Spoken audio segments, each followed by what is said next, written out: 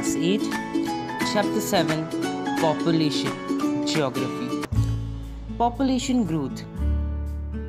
Sometimes there is a decrease in population, and at other times there is an increase. This increase or decrease is related to the following factors. First, birth rate. The number of lives birth for 1000 people in a year shows the birth rate. Number 2, death rate. The number of deaths per 1000 people in a year shows the death rate.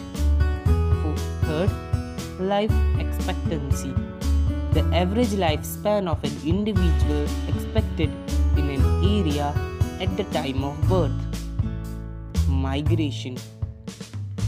The movement of an individual or a group out of an area or into an area is called migration.